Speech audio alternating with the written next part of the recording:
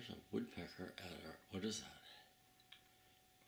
Pretty sure it's a downy. And this is a house finch on the table.